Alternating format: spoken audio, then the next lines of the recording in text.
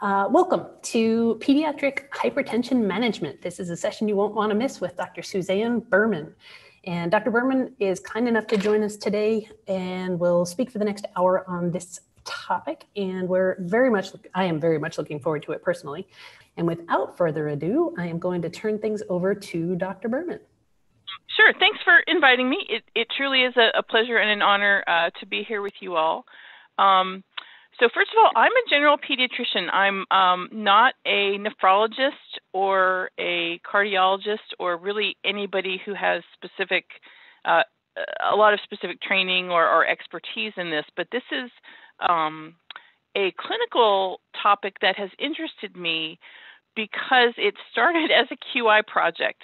Um, uh, uh, several years ago in our practice, we were sort of, you know, patting ourselves on the trapezius, saying, you know, what a great job we did with hypertension management and how many kids we had. Um, and then as we did a chart review and really dug into our data, we found we were missing a lot of kids um, who really needed more management than we were getting. Um, we were sort of um, screening only obvious give me patients. We weren't really following uh, the the then guidelines. And then about that same time, uh, the AAP, led by uh, Joe Flynn, uh, who's a, an awesome nephrologist in Seattle, came out with the new 2017 guidelines. So, um, sort of putting all that together, we uh, sort of reinvented how we did it, and I'm glad to say we I think we are missing a lot fewer kids now. Um, so, just as a sort of overview of what we're going to talk about, um, first of all, uh, as, as we found out, sort of uh, as a, not quite a slap in the face, but still it was surprising. Um, pediatric hypertension may be much more common than you think. Um, we're going to briefly review the new 2017 AAP guidelines for um, diagnosing uh, and uh, managing and treating hypertension. Um, I'm going to uh, show you a couple slides on how to take a good blood pressure. That that is a very sort of basic nursing topic, um, but um, just like we do uh, BLS to remind ourselves how, how deep to compress every year uh, or every couple of years, I think it's a, a good sort of basic skill to, to revisit. Um, and finally, I want to give you some tips on doing ambulatory blood pressure monitoring. Um, we have done a lot to um, uh, sort of buy equipment to manage other chronic diseases, but most pedi- general pediatricians that I've talked to don't have an ABPM machine. Uh, we got one a couple years ago and we love it. So hopefully I can, uh, and if I can figure it out, anybody can figure it out. Um, but so hopefully I can give you some tips on how to do that, how to demystify it, um, and and there's also a financial case for doing it, which I hope to touch on. Um, so moving ahead here, um, just to give you an idea of how common um, pediatric hypertension is.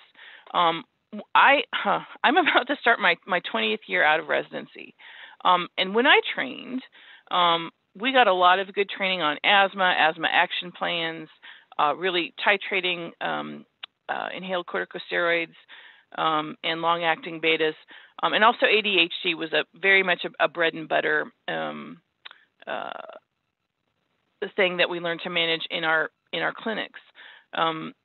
certainly I can't manage all asthma and all ADHD. You know, kids with ADHD who also have autism and um, a mood disorder and anxiety, those kids are probably best best served by uh, child psychiatry. Ditto, you know, severe persistent asthmatics by pulmonology or allergy. But for most kids with asthma and ADHD, I feel like I came out of training really prepared to do that. Um, the next, uh, uh, the next sort of um, thing that we've sort of come it's sort of come into its own maybe since I've been out is pediatric mental health, um, primarily anxiety and depression. Um, those also are, are, actually pretty common. Um, and now we're screening for uh, pediatric depression. Now there's the Academy has done a lot of work around um, uh, recommending that all adolescents be screened for depression, substance abuse. Um, we also pick up a lot of anxiety. Uh, um, uh, I think uh, in the past three months now more than ever. Um, and um, actually, the slide actually blanked it out, but in epilepsy and type 1 diabetes, we think about, although those sort of are, are still maybe in the realm of specialty care, but we still screen for them. But um, hypertension is actually as common as depression, um, uh, according to some of the, the literature that I read. It's about 3% of all kids in your pediatric practice. And then if you look at just the adolescent population, it's it's as high as 10 to 12 percent. Um, in in some in some areas, in some practices, it might even be more than that. Um, so my my argument to you, if if you feel um, strongly about screening for depression, if you have your asthma, ADHD, anxiety, sort of your ducks in a row, and you're looking for what's the next most common thing I really could be doing more, I think um, pediatric hypertension could be that thing. So um, let's talk a little bit more about what the 2017 guidelines did as far as changing the definition of pediatric hypertension. Now, I'm not going to go through the whole thing because y'all are very intelligent people. You can read, and, and many of you have probably uh, studied these very well. But uh, just as a, a, very quick refresher, um, there are new tables, and you can actually get this. This is the red reference at the end of the slide deck um, that allows you to look up a child's age and sex. Um, so this is a, a, this is on the one-year-old male table, and then you look at the child's um, height because that that's basic physics, right? We know that uh, pressure equals rho gh, right? So um, a taller child can be expected to have a higher blood pressure to to help push that column of blood up back to the um, right atrium. Um, and then let's say that our, we have a one-year-old child who's 80 centimeters. Um, so you basically read the table top to bottom. Um, the 86 percentile, or I'm sorry, 86 um, millimeters of mercury is 50th percentile for their uh, systolic blood pressure. And then there's also diastolic tables. Um, a couple of things about um, this particular um, set of norms that's different than the 2004 norms. There's lots of things I don't want to go into, but one of them is that, and I think this is pretty significant, is unlike the 2004 guidelines, the 2017 guidelines only include normal weight children, um, which is which is interesting because so many kids now are um, overweight or obese. Um, we were sort of gradually trending in uh, by using just every kid as part of the data set, we were gradually trending that um, elevated blood pressure became normal because we know that kids um, who are heavier weights have more hypertension and elevated blood pressure. Um, so just because it's normative doesn't necessarily mean it's normal or healthy. So by excluding um, uh, overweight kids in this data set, we have a much better uh, picture of um, uh, normal as defined as, as healthy uh, and not going to cause uh, cardiac risks downstream um, as opposed to just oh, a bunch of kids are you know just like you might say well a bunch of 10 year olds are 250 pounds it's no big deal. You, you we wanted to have um, good and accurate um, good and accurate data. So a few things on how to measure blood pressure properly. Um, like i said this is sort of a sort of a basic task um, that that happens every day in our offices.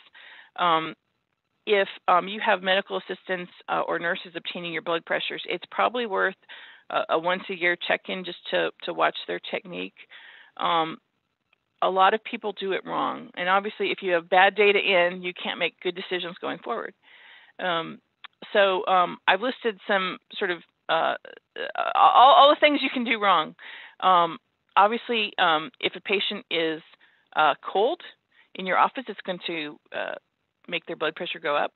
Obviously, nicotine or caffeine ingestion. So if they've smoked or vaped or uh, had a huge, you know, latte uh, with with uh, lots of uh, caffeine in it, that's also going to make their blood pressure go up.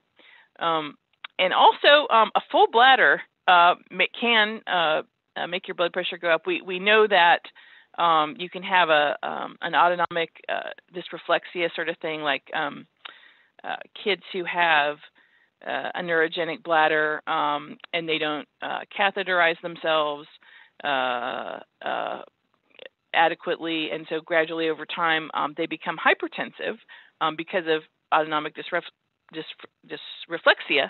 But um, uh, just having a full bladder makes you tense. I will attest to that, and um, you want to get people as relaxed as you can.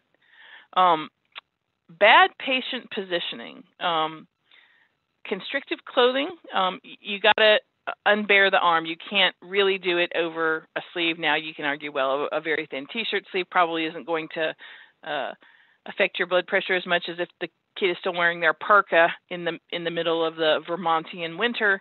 Um, but um, really, to get a good accurate reading, they need to um, have their arm bared from the the shoulder down. Um, moving and talking, kind of like you're at the dentist and that you the, you you got your mouth open and full of uh, of, of of hands and gloves and and suction equipment and the the dentist or hygienist. So how's your summer going, Suzanne? And you say, oh, you know. So um, if your nurses are trying to make small talk while they're taking blood pressure, uh, tell them to not do that. Um, and then positioning. Um, I, I, I, included some pictures here of, of all the wrong way to position patients. You know how like you, you go to find pictures of free babies to put on your website and or uh, royalty free babies and all the babies are sleeping on their stomachs with a bunch of pillows uh, you know they're not following the the abcds of safe sleep um, most of the pictures of people having their blood pressure taken uh, by medical professionals or actors or some of both um, are, uh, are, are not really the right way to do it. Um, so I, I sort of um, calling out these pictures. Um, you need to have the arm supported on a table. Um, holding the elbow in your wrist, like you see in the top picture, is um, is not a good way to get a nice relaxed arm. Um, and at best, uh, especially if you have these huge uh, muscular teenage boys whose arms weigh as much as uh, you know, I don't know, a, a, a enormous watermelon. Um, not just steadying it, but it's going to be shaking in your hand as you as you try to support it, um, and and it gets really exhausting. So um, have them rest their elbow on a table or a flat surface. Um, obviously, um, uh, many of us, uh, including our practice, before we sort of, oh, we're doing this wrong. Um, kids are perched up on the exam table with their feet dangling and their back unsupported when we take their blood pressure, just like in these pictures. Um, that actually also raises their blood pressure um, because they're they're they're stiffening their muscles, um, uh, and they can't they can't truly relax. Um, crossing your legs, uh, as you see in, in that uh, never do this picture, uh, also raises your blood pressure. And then the arm um, not at the level, like the cuff should be at the level of the, the right atrium where their heart is. Um, uh, again, because of uh, fluid dynamics, physics. Um, and don't necessarily see their arm lower or higher in the seated position if a kid is reclining. Um, and uh, their arm sort of hanging off the side of the bed or whatever, you need to again support it uh, with something firm and flat uh, to get a good to get a good reading. So uh, don't, don't be like don't don't be like these. Um, I, am going to uh, repeat the the pick the right size cuff mantra or meme.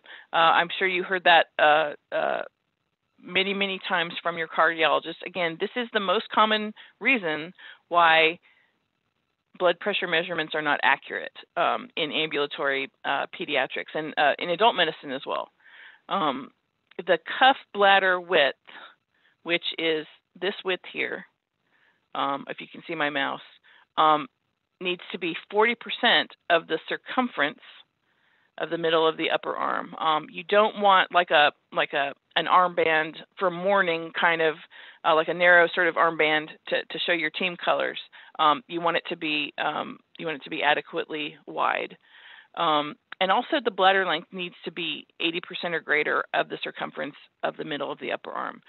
Um, now, this is sort of a, a, a basic question, but I did ask myself many times, what do you mean the cuff length should be greater than 80% because it has to be at least 100% or it won't wrap, right?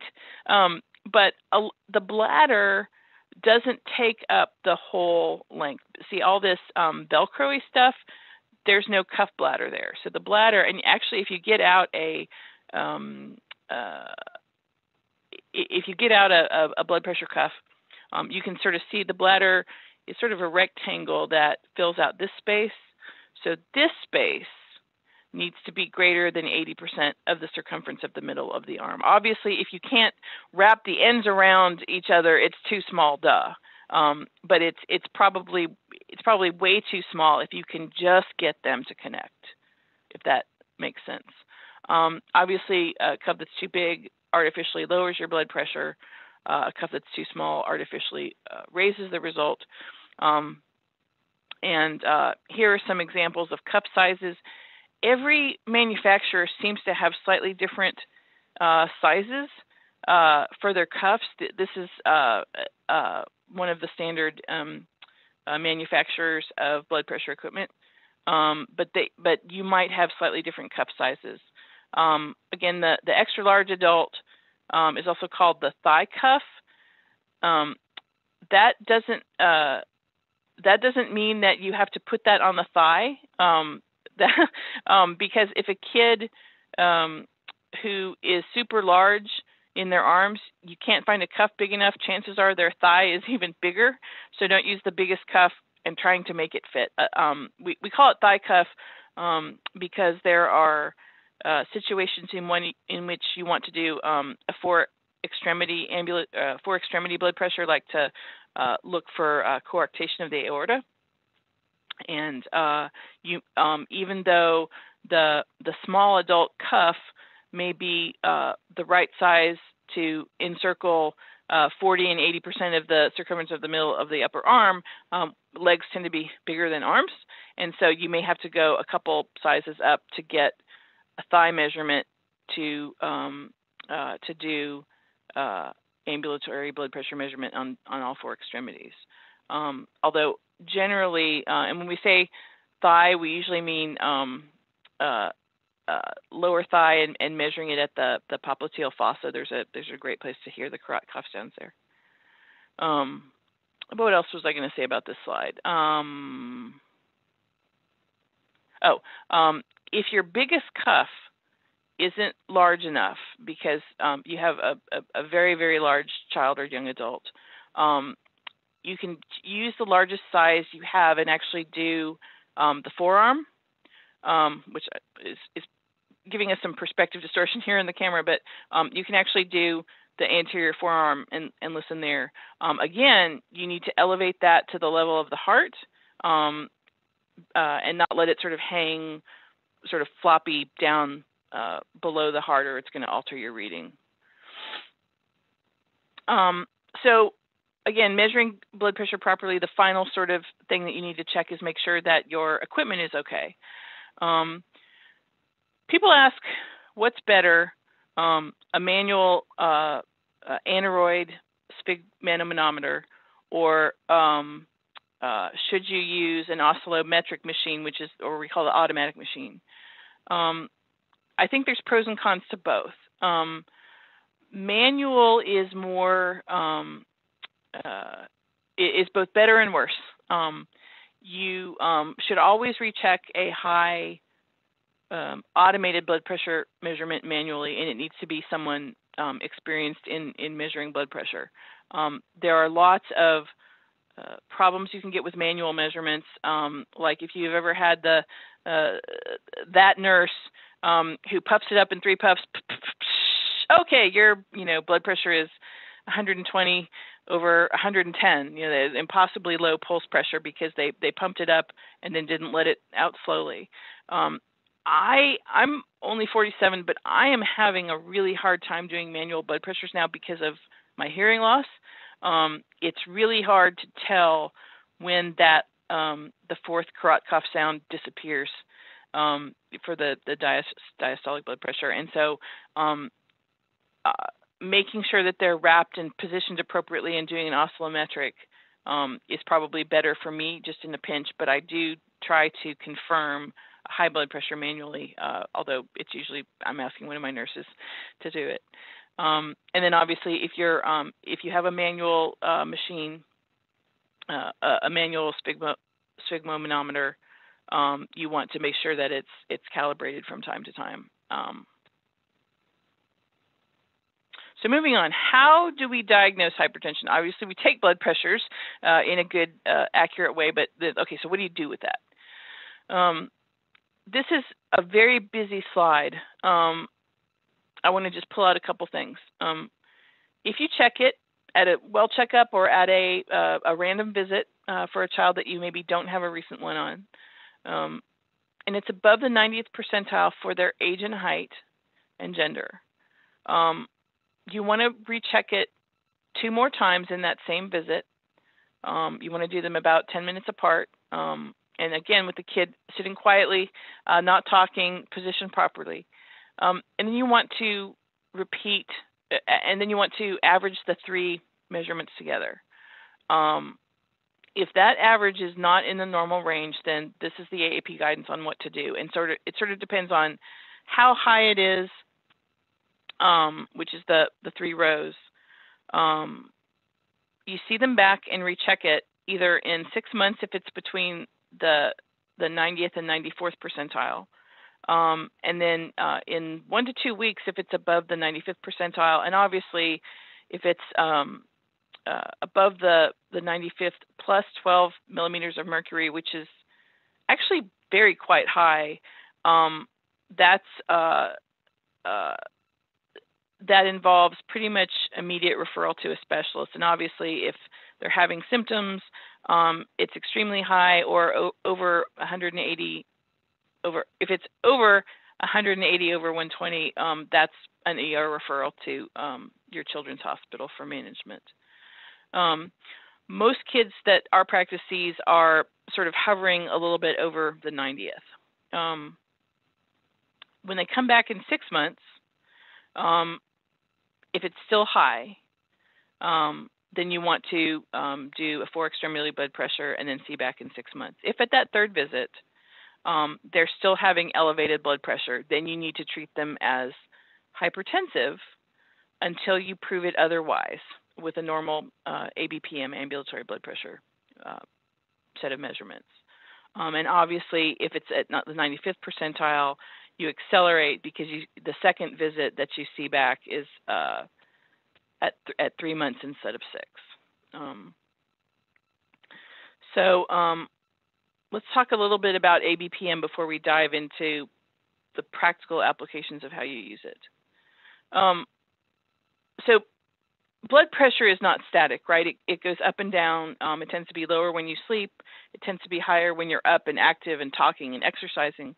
Um, and so trying to diagnose hypertension just based on one measurement in the office is uh, fraught with peril, obviously, um, because most high measurements will regress to the mean when you recheck them. And that's why um, the AP recommends this sort of um, serial uh, checking and rechecking over time. Um, but at the end of the day, even if you do several measurements in the office, you're still doing uh, all your measurements basically in the daytime hours while the kid is awake. Um, and you're only capturing that very sort of narrow snippet of activity. You know, okay, it's it's high here, it's not. Um, almost 50% of kids with an elevated blood pressure in some samples don't truly have hypertension. They have what we call white coat hypertension, which is basically it's only high when you're at the doctor's office, which seems really high. Um, but I will say, um, earlier in my practice, I made the mistake of just sort of blowing it off, and especially if it was now if it was super high, yeah, that's it's probably a thing. Um, but I would see kids four and five and six and seven times who had blood pressures in the the 90th percentile, and they weren't really um, going up dramatically between visits, but maybe they were slowly sliding up. And I would say mm, it might be something, but it's probably just white coat hypertension. Um, we'll just check it back next time. Um, and I, I, I felt stupid about referring them to cardiology if it was nothing. Um, but I, I didn't feel good about just ignoring it in the future, so I put a note on their chart. The great thing about um, ABPM is it lets you with pretty high level of con- with a pretty high degree of confidence will let you rule out kids who have white coat hypertension, which is 50% of kids. So that means if you're getting elevated measurements on uh, anywhere between uh, you know four, five, six percent of kids in your practice, which is if you have a couple thousand kids in your practice, that's that's not as small of a number as as as you might think otherwise. Um, you can, um, with pretty good de- uh, definity, say you don't have hypertension. We're we're going to leave this alone and we'll recheck it at your next you know scheduled well visit. Um, or you can say definitively, no, this isn't white coat hypertension. We need to um, evaluate you and, and, start treating you. Um, and so this tool has um, really, kind of like spirometry for asthma, has really um, added a huge um, weapon to my arsenal of treatment options. Um, and so it's just that alone. I think it's worth thinking about investing in, in one of these machines. Um, the other thing is um, doing um, uh, an ABPM um, to rule out some of these um, kids where your um, your measurement table is sensitive but not specific, i.e., it's picking up kids who have white coat hypertension but not ruling them out, which ABPM can do. It's extremely cost saving. Um, when you think about the labs that you're supposed to order for kids who are hypertensive, um, we're going to get to that in a minute. That's some big bucks. Um, and if you send them to the children's hospital uh, to get an echo, that's going just that, it, which all all you know, uh, all, all, decent cardiologists are going to do an echo if you refer a kid for a rule out hypertension, right? Um, um, it's incredibly cost savings. Um, I've read a lot of articles that say uh, it's not worth buying a machine uh, a, at a primary care office. Um, you should just send them to cardiology.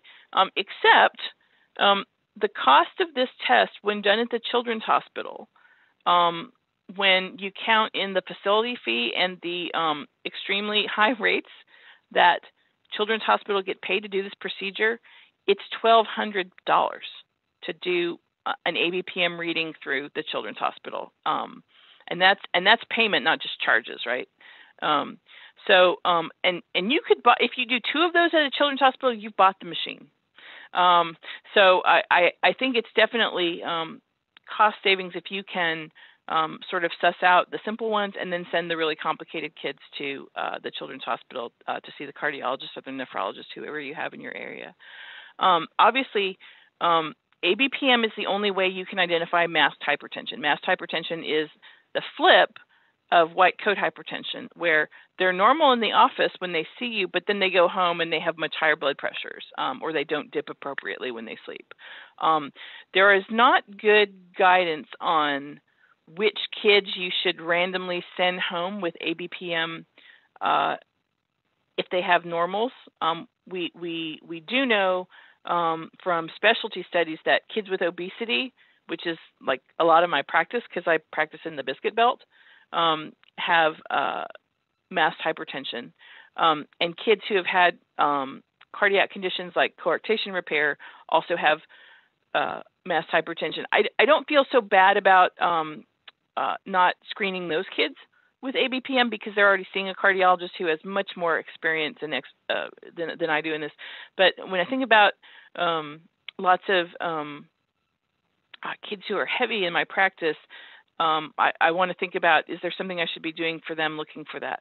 Um, also, um, one of the uh, the criteria um, to look at the severity of hypertension is to know um, the degree of dipping, which is basically the difference between daytime and, and, and nighttime blood pressure.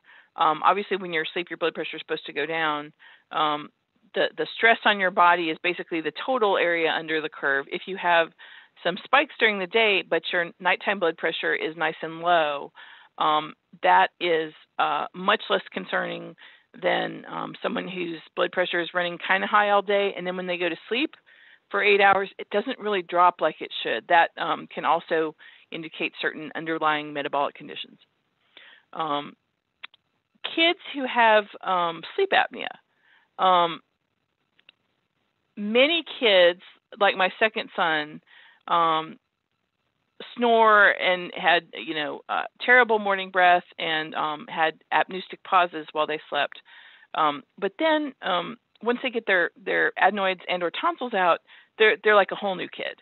Um, other kids um, who are heavy and tend to be older, um, teenagers, will um, uh, not reduce their um, sleep apnea after they have their adenoids and tonsils out. If they do, because it's it's either more central or it's farther down than their tonsils, um, and so um, many of these kids also have elevated blood pressure, and so when they sleep, and so this is a way uh, to find those kids. Um, and then also when you're determining med changes. Um, here's basically the screening tests that are recommended. Um, we don't want to necessarily uh, uh, go through all of these. Um, I, I, think these are pretty uh, normal. I think many of us do this already in, as part of a, a lipid screen. Um, uh, other studies, for the most part, are uh, not recommended um, as part of the initial workup. Um, the only exception is an echocardiogram because you do want to look for left ventricular hypertrophy um, uh, when you're starting medication. Um, so um, uh, we know that EKGs are not really as useful in kids, um, and especially EKGs read by um, adult cardiologists who are also always very concerned about the inverted T wave in kindergartners. Um, the, even expert pediatric cardiologists say that um, EKGs are just not as useful, but echoes can be. So your specialist wanting to do that is is okay. Um, renal ultrasounds um, and and other sort of uh, the, the sexy tests, uh, the uh, the uh, angiography tests, um, they do have roles I think those probably should be better ordered by a specialist. Um, and um, young kids, skinny kids under age six who have um, uh, elevated blood pressure, those are more likely to be um, uh, renal in nature, renal artery stenosis, congenital uh, kidney disease um, than older kids, teenagers, especially older kids who tend to be heavy. Um, those younger kids, I would probably refer sooner. Um, and have a lower threshold for for calling in the specialist than some of these bread and butter uh, teenagers. All right, so let's talk about ABPM machine uh, in our last few minutes here. Um, so how do I pick one? Um, again, you know, you can just you know call your friendly neighborhood McKesson or PSS person and say, what do you have in stock? Um, the AP guideline recommends um, this list, which um, has uh, a list of studies that have validated certain machine types in certain populations. Um, I will say that, um, and this is me talking, um, it hasn't been updated in a long time, and so machines that used to be called that, that they used to be called the Excelsior, and now it's called the the BP Wonder machine. You may have the BP Wonder machine, and the Excelsior is approved, but you don't see the BP Wonder, and you're like, well, is this approved or not? Um, you can also ask um, uh, your your your your favorite specialist what they use if they do it, um, and you can also see what authors use in studies. Um, I will tell you that um, uh, the one this is kind of funny. Um, one of the machines that is not uh, recommended based on where AAP says go here for a recommended device is actually what Joe Flynn and a lot of other American nephrologists who publish childhood blood pressure studies use. Um, so even though it's not officially recommended, a lot of the experts still um, use it, which I think is a, a, a little funny. Um, here's one big caveat. Be sure your choice has a way to interpret pediatric studies. And so um, if your salesman says, oh, yes, uh, we have the we we can do pediatrics too. That usually means they offer cuffs in smaller sizes, but it doesn't necessarily mean um, that it will do all the interpretation for you. Just like EKG machines are based on uh, adult normals and they tend to give a lot of um, sort of nonsense in their interpretation. Uh, when you do um, EKGs on younger kids, the same holds true here. Um, we happen to buy a machine that doesn't have a pediatric interpreter, and we did a workaround. I'll get to that in a minute. Here's just some basic pictures of what it looks like, how it works, um, uh, it's a little box. Um, again, there's a cuff choice that you do. Um, this is my teenager wearing it. Uh, you can see he's got the cuff on his arm, and this fits into a little bag. Um, the bag is washable. This can be wiped down. So in here in the COVID era, um, it shouldn't be uh, you know too scary to um, reuse between um, to reuse between patients. Um, we get we have our patients come in um, and we we put it on and we do some tests while they have it on their arm. And we give them a little uh, brochure and feel free to copy this or whatever. This is not anything very special on how to use it. Um, the main things that we tell them is um, we need daytime readings and nighttime readings. So when you lie down, go to bed, um, uh, please click the little button that says, okay, I'm converting to night readings. Um, and then um, when you wake up again, click it back, and you're going to go back to day readings. So we we can definitely tell which ones are the the nighttime slash sleep readings and which ones are the daytime readings. Um, and the other thing uh, we say is um, uh, do do not immerse, do not shower, do not bathe, do not swim with it on, um, uh, because obviously that will uh, zap the machine and, and possibly give you a shock. Um, so we tell people, you know, take a shower in the morning, come in in the morning, wear it all night, come back in the, the next day after it's been 24 hours, drop it off, and then go home and take a second shower. I mean, obviously, you can take it off and put it back on, but a lot of folks have trouble rewrapping the cuff after they put it on. Um, so this is this is an action. And this is my son, so I'm I'm not violating HIPAA here. Um, so um, this is an um, this is what the result of the machine we we use looks like. Um, this comes out um, in a PDF or text file format, and it tells you basically what their systolic, diastolic uh, pressures were for, for various dates and times. So when you're interpreting these, and again, the um, the hypertension guidelines go through the exact metric of how you're supposed to do this. You discard outliers um, that are too low or too high, basically the impossible results.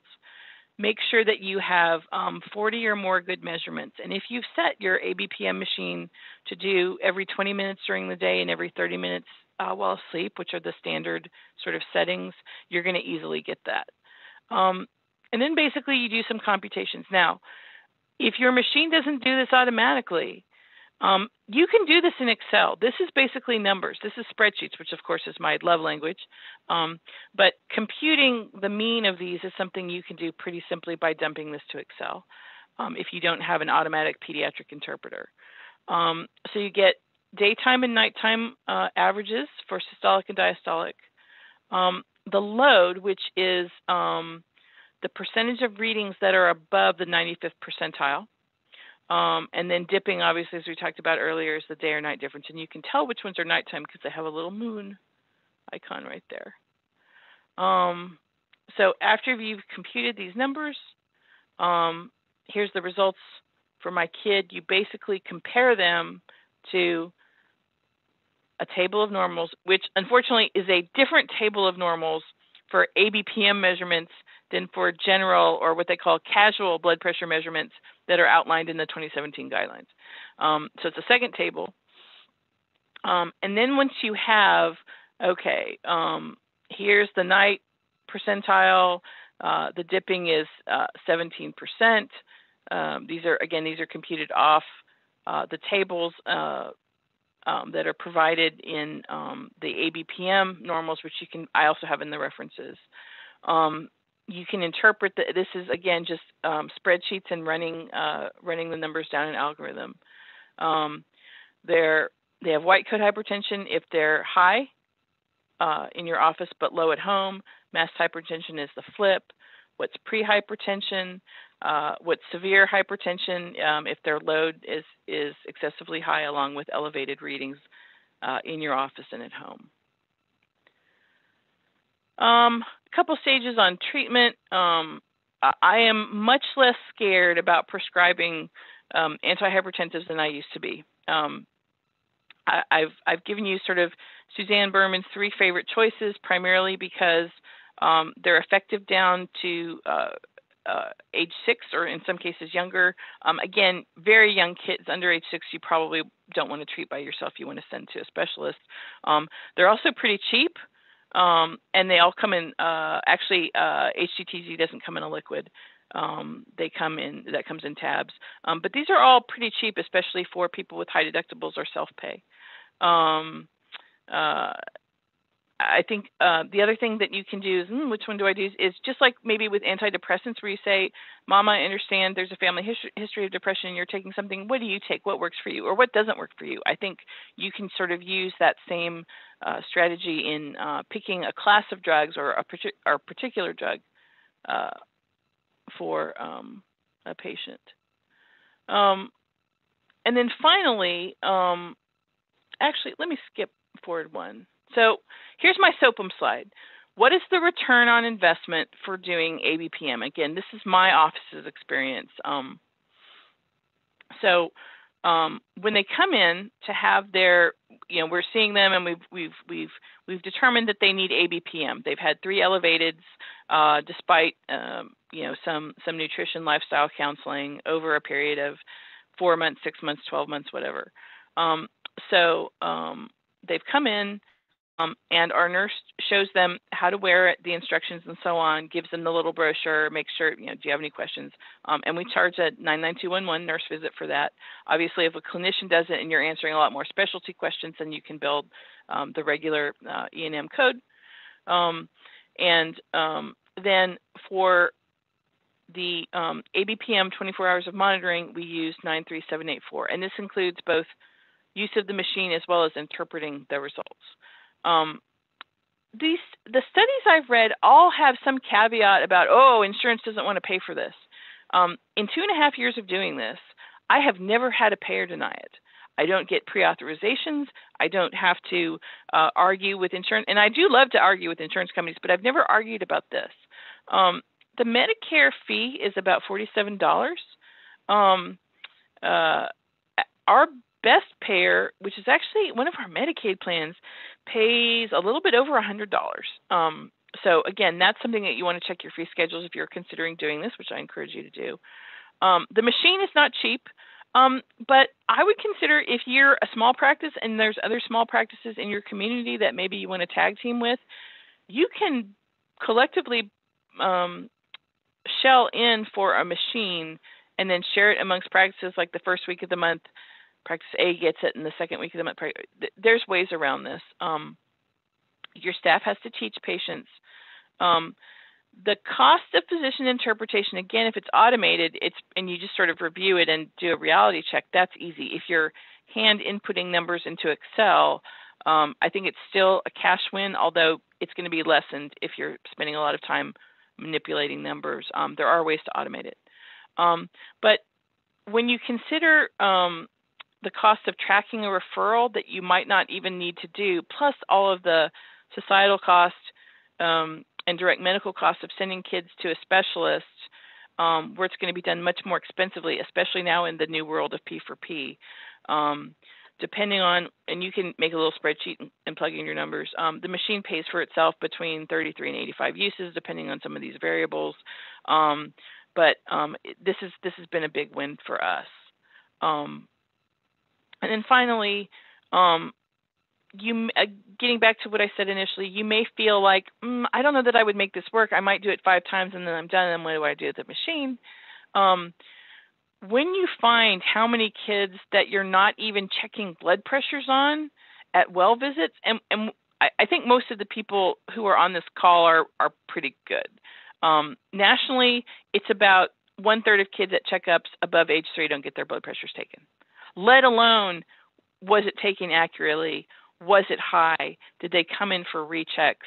Um, did you do an ABPM? So um, I think if you um, are already doing a good job, on the other hand, of um, checking blood pressures and making sure that um, uh, your your numbers are okay, um, but then tracking them over time and not doing this the Berman blow off, like I said, oh, I'm sure it's white coat hypertension, I'm sure it's okay, but actually definitively, um, you know, facing up and saying, I'm going to determine whether you need a workup or you don't, and then you can. Um, I think it improves your sort of satisfaction that you're not sort of overreacting or, or underreacting.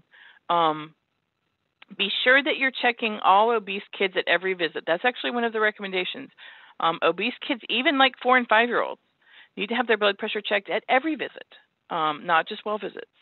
Um, and I, again, that was not something we were doing, but when we started doing it, we started picking up more kids. It's like, ooh, um, we need to we need to stay on top of this and and and really figure this out. Um, I think that's all I have. I've got some references. This red one is the the guidelines. These others are sort of how to do ABPM.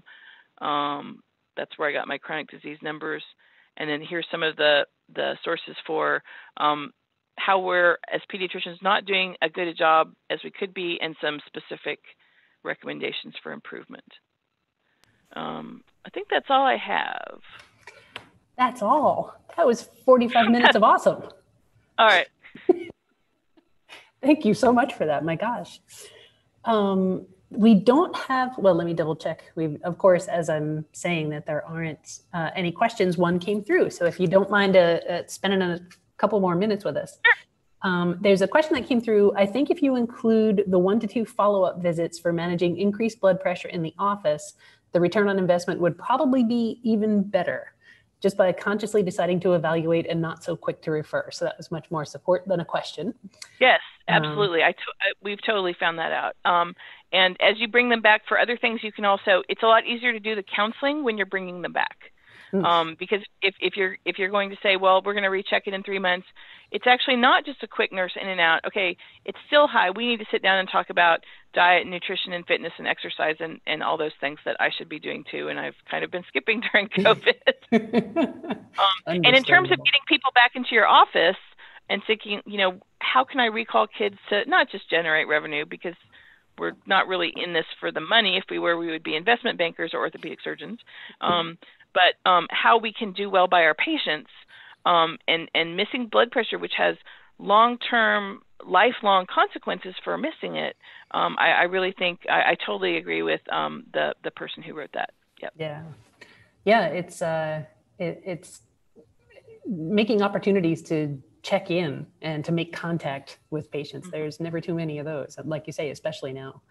Um, right. Something that I wanted to uh, other than us insisting that you and I go into business and create something for Hasbro called royalty free babies. Um, right. Uh, the idea that all obese kids, you know, just there's so much common sense in this. I'm not a clinician. I am not trained at all in this stuff. And it makes so much sense to just step back and think about it, the, the populations that you're, you're recommending this for, or that it, that it's recommended for. Mm-hmm. Um, one thing that caught my ear was the idea of device sharing. I love that for yeah. cutting costs. You know, that that price yeah. tag, especially now, you know, a three thousand dollar price tag. If you've got somebody in your your area, and that raises awareness about the condition as well. There's just so much to this. I I have a curiosity of my own, if you don't mind. Um, is there anything to the um, the idea that if you do send them to, if that white coat syndrome is or the white coat effect is a factor here. Is that not exacerbated by sending them to a specialist but maybe that they're less familiar with? Yeah, so so the idea of sending them to a specialist is that the specialist is going to do ABPM, um, uh, and they have access to a machine that you don't have, um, and and for that reason, um, that's a good reason to send them. Um, I will say that a lot of my specialists actually don't do it; um, they go straight to echoes. Hmm. Um, which again, I, I you know I can't say that's wrong, and that that is a good way to say as of now. Um, do you have left ventricular hypertrophy? Do do we see signs of of damage going on? Um, they can much def- much more definitively than I can because I I don't really read ultrasounds. Um, say no, but again, we're pediatricians, right? We prevent, and so um, just because you don't have damage yet that's visible on your echo doesn't mean that you're not running higher than you should be. Um, and so I, I do think, uh, and again, I'm a data geek, right? Um, and I, you know, I want to see, you know, lots of repeat numbers and, and evaluate trends and so on. And so this really does let you get um, a, a, good sense of what numbers over time are. Um, some people say, well, I can do the same thing without um, without an ABPM machine. I can just tell families to get a machine and log it at home um, hmm. and uh, they can bring their numbers in, and uh, we can sort of do it that way. Um, there, and that's actually a great thought. Um, the problem is, is that um, many families can't afford um, a home machine. Mm. Um, and finding one is really hard. I have had more trouble getting insurance to cover a home machine for a kid than I have doing a one-time ABPM for them. Yeah. Um, and also, they it's not just the machine; it's the right size cuff. Um, but the thing is, it is hard to remember to check. Now, when it's it's hung on your arm and it's walking around with you, it's checking all the time. I had um uh, gestational hypertension with my my last baby. I was 43, old and fat, having a baby, um, and I'm a doctor, right? And I understand the consequences of not doing it. But checking my blood pressure, taking the medicine, counting my carbs, because I also had gestational diabetes, counting carbs, uh, taking my medicine for diabetes, uh, dipping my urine for ketones. I was getting freaking tired of it, and yeah. I was I I just didn't do a good job um, measuring, and the other thing is that um, home-based measurements a lot of times those don't give you any sleep measurements unless mom comes in and hooks it up to the kid while he's asleep, which again is within the realm of possible. Um, but getting um, a good data set um, mm. uh, from home actually practically is a lot easier with an ABPM machine, I think. Yeah. Well, awesome thank you so much for this. This I, I find this stuff fascinating. And I, I also am a data geek. You'll have to thank Simon for me. When I saw those numbers show up on that slide, I got all kinds of excited. Um, yeah. yeah. it just makes sense. And thank you again, Dr. Berman. I really appreciate this. I hope you have a great day. Thank you. My pleasure. Take Bye-bye. care.